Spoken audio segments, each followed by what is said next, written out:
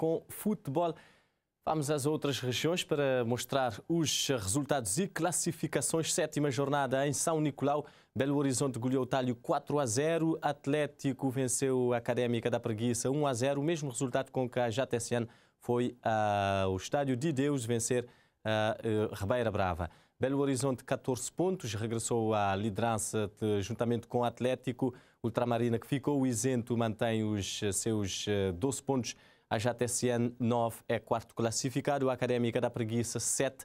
Ribeira Brava 3. E o Talho continua sem pontuar no campeonato de São Nicolau.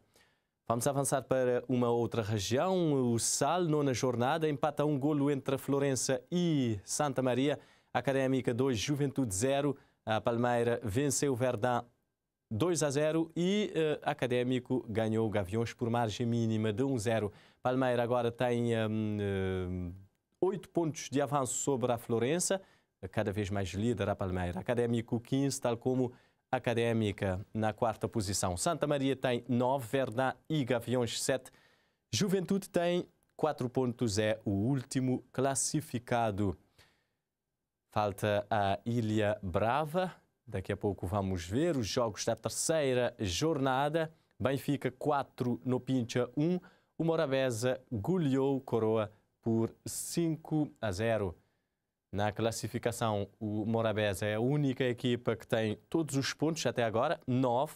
Benfica 6, Coroa e Pincha ainda não ganharam, tem um ponto cada.